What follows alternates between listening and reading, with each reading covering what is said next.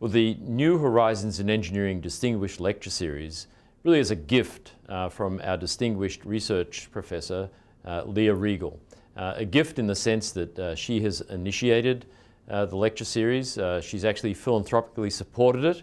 and more importantly, does all of the legwork to bring just wonderful, fantastic lecturers uh, to our campus. The lecturer that's next up in the series is uh, Professor Sheldon Weinbaum. I'm known in the Big Apple as a uh, biomechanics detective.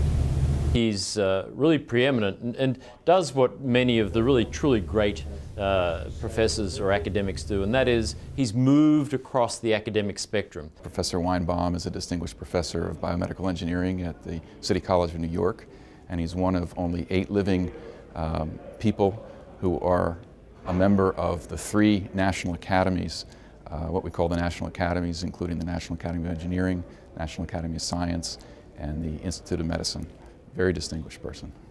As an undergraduate, I was actually at RPI, uh, undergraduate, and I was an aerospace engineer. And uh, I went to graduate school. I was a graduate student at Harvard, and I got a PhD in engineering period, not a specialty.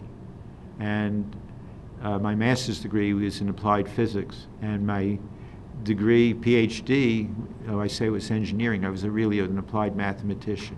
I think this has served me very well because I am by nature interdisciplinary. And I think it was my training uh, that was not highly specialized that enabled me to go basically from one field to another. That's one thing that we pride ourselves in at Clarkson is, is moving across boundaries. And so, you know, that's one of the reasons this is wonderful to welcome this particular uh, distinguished lecturer to our campus.